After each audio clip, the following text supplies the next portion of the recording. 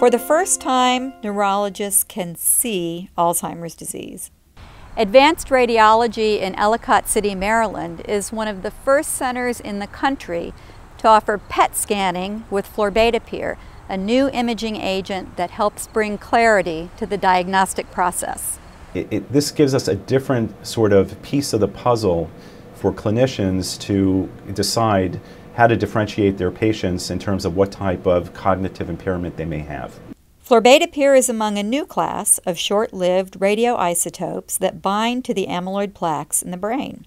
Scanning is quick and relatively easy. Patients who have had a PET or MRI before will experience a similar procedure with florbetapir. During the scan, computer-generated images show the distribution and concentration of plaque. Results are available immediately. A specially trained radiologist reads and interprets the images. This is an example of uh, a number of uh, scans in patients that are presenting with predominantly very similar symptoms. Both have a degree of cognitive impairment, both have mini mental scores that are abnormal, and the patients are sent for further evaluation. We could see that we have Amyvid deposition in white matter, but we have sparing on the outside where the gray matter is.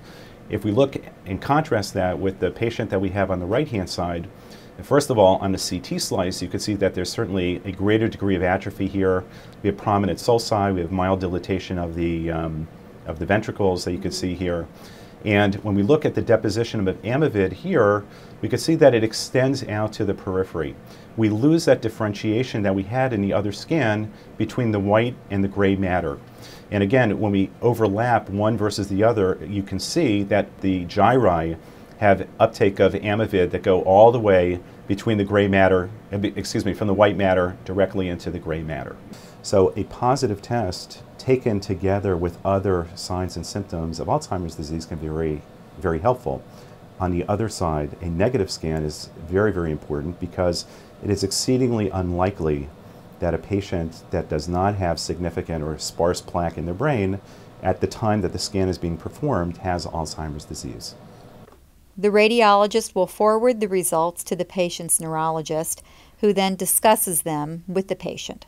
Positive scan concurs with the diagnosis, and um, you know consistent follow-up and good medical care will be provided. But a negative scan will be so valuable. You know, you can relax the patient and the family and say, listen, your dementia, I have good news. This is not Alzheimer's dementia. This is a different type of dementia and this is what we can do to slow the progression. Mm -hmm. And I think it's an extremely valuable tool. Because in the past it was postmortem diagnosis right. definite.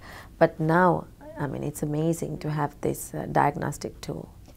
The scan costs about $3,000 and isn't covered by private or public insurance but the Centers for Medicare and Medicaid Services is accepting public comments on a proposal to cover florbetapir.